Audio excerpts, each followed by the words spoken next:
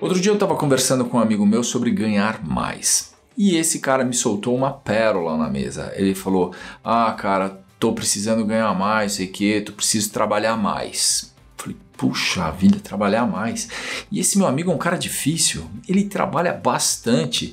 Toda vez que eu quero marcar uma cerveja com ele, eu preciso marcar aí com pelo menos umas duas semanas de antecedência para conseguir encontrar uma brecha ali na agenda do cara para a gente poder marcar essa cerveja. Ele é um cara que já trabalha muito. E ali naquele momento ele falou que ele queria ganhar mais e para isso ele precisava trabalhar mais. Ele falou que ele estava trabalhando umas 8, 9 horas e ele precisava aumentar aí para umas 10, 11 horas por dia.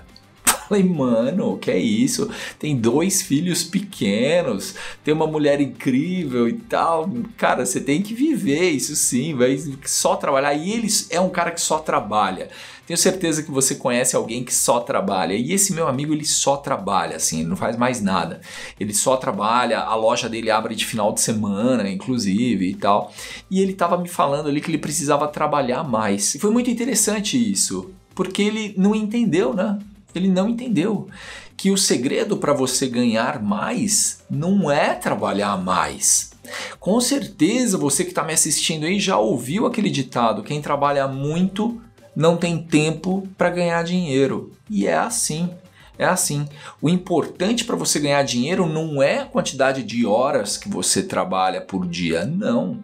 É o valor do produto ou do serviço que você vende. Isso é o que importa. Então, para esse meu amigo, se ele está querendo ganhar mais, ele tem que dedicar o tempo dele em estudar como ele vai conseguir ganhar mais, não trabalhando mais. Ele tem que estudar um produto mais valioso ou um serviço que tenha uma aceitação melhor, ou então ele tem que fazer ali uma avaliação se aquilo que ele está fazendo é o suficiente para atingir os objetivos que ele quer, porque às vezes não é. E aí, se não é, ele tem que dedicar o tempo dele em qualificação e em estudar outros assuntos para conseguir migrar de produto. Gente, eu falo aqui produto, mas entenda, é produto, serviço, enfim. Você vende alguma coisa, ou você vende o seu tempo, ou você vende um produto, ou você vende um serviço, você vende alguma coisa, tá bom? E é isso, você precisa avaliar se isso que você vende tem o valor que te atende tem o valor necessário para você conseguir os, atingir os seus objetivos. Porque se não tem, você tem que dedicar o seu tempo em aprimorar esse produto ou então em migrar de produto tá bom?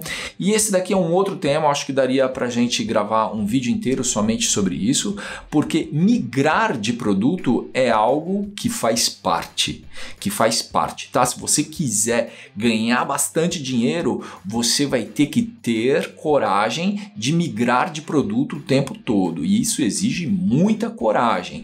É, você vai migrar descabeçadamente? Claro que não, você tem que fazer um estudo, existe todo o embasamento por, por trás aqui desse conceito de migrar de produto, não é uma coisa que você faz na louca, isso não existe, tá? Mas migrar de produto faz parte para você ir encontrando produtos cada vez mais valiosos, né? Se é que você está nessa procura de conseguir ganhar mais, beleza? Mas definitivamente trabalhar mais não é o caminho para você conseguir ganhar mais. Tá bom?